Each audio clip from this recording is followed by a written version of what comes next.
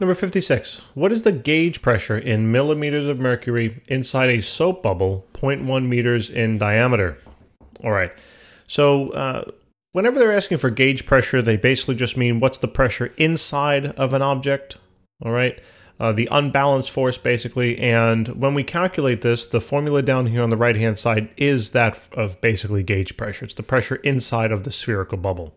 This formula, remember, is specific for a spherical bubble, and that's it. Do not use this on other shaped objects. Um, so basically what I can do is let me write that formula down. So the gauge pressure here, even though it doesn't say that, it is, so I'm going to write it with a little g, is equal to 4 multiplied by the surface tension, all divided by then the radius, okay, of the spherical bubble. So in order to find out the pressure, I need to know two things, the surface tension and the radius. So the surface tension, they told us it was a soap bubble. If you look this up in the table, here is the surface tension of a soap bubble.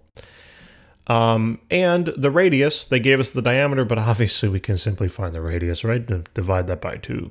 So let's just plug in the value. So this is 4 times then the surface tension of 0.0370, all divided then by the radius, which is going to be the diameter that they gave us divided by 2. So this should be fairly straightforward.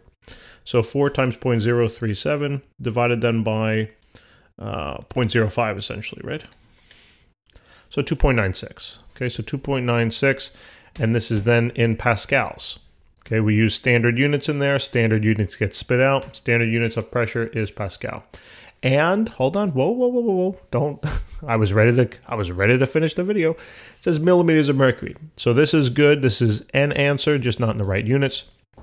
Now all we need to do is convert this into millimeters of mercury. We've done conversion like this in the past.